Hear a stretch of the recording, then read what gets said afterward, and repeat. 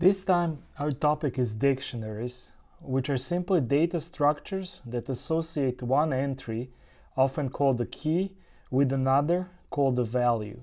So the data entries always come in pairs. You can think of the first one as a label or a descriptor what is stored in the second value. So we see that the basic components in the dictionary blocks is a pair which prompts you to enter data in pairs as keys and values. Let's quickly put together several simple examples of data entries.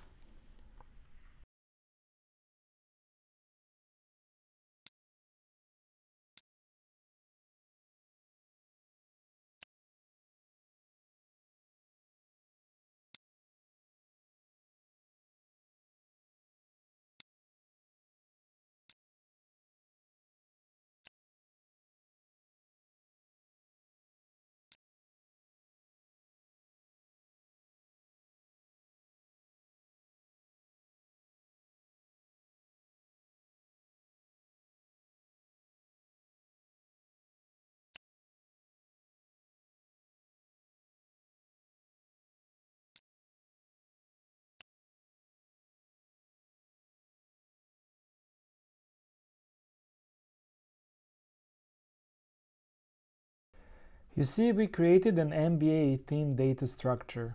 First, notice that the key, essentially a label, is always a string or text. On the right, we see that the value can be a text as well, can be a logic false or true, also can be a number in this simple form.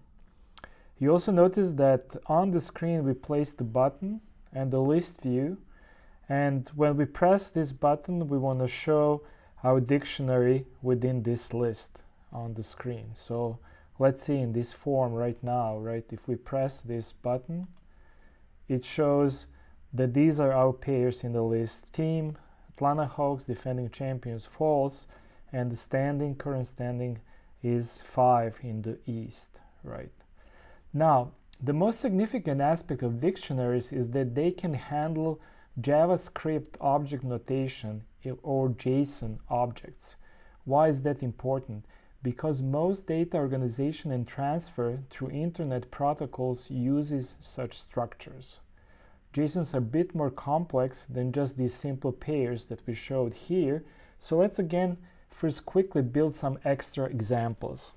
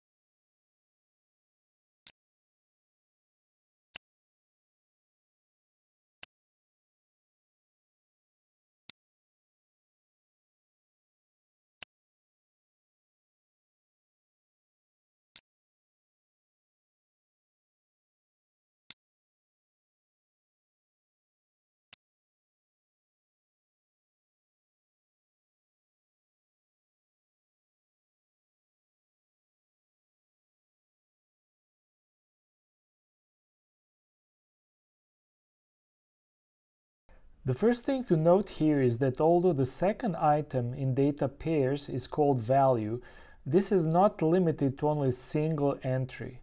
Here in these examples, we see first that this value can be a list, in this case list of texts, list of strings. We can have as many entries obviously as we wish within this list or here where we used uh, logic statements as uh, entries for our list. And in the last case here, probably the most interesting case is that we see that the value can be another dictionary. So we can have a dictionary within the dictionary. And if we keep going here, any of these values also can assume another dictionary. So we can have as many nested dictionaries as we prefer, right? The other things, if we look at these blocks, most of them are really uh, self-explanatory. We would also notice that most cases uh, we can have kind of read-write uh, duplicates. So if there is one uh, get value for something, that there's another one that we can set value within the dictionary and so on.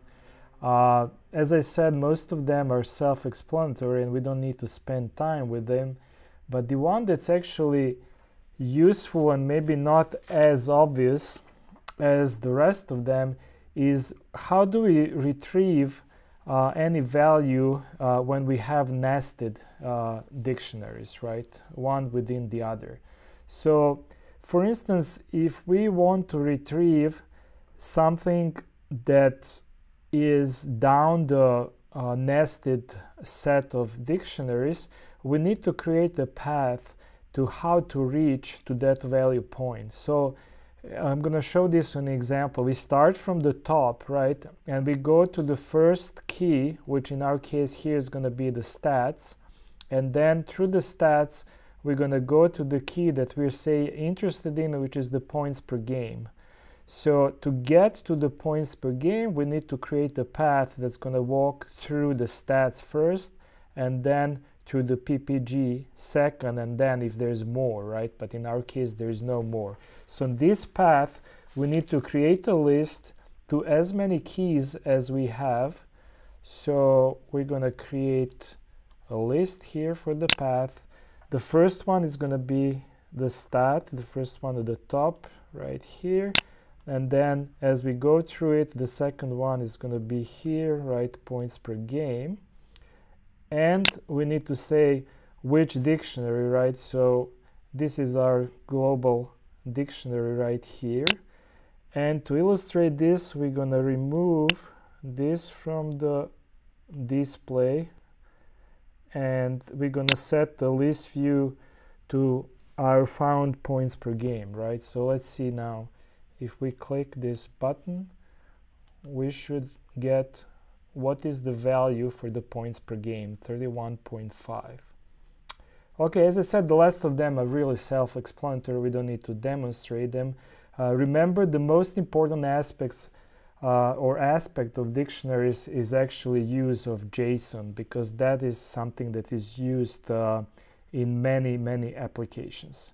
Uh, we can uh, close uh, this lesson here and until the next time bye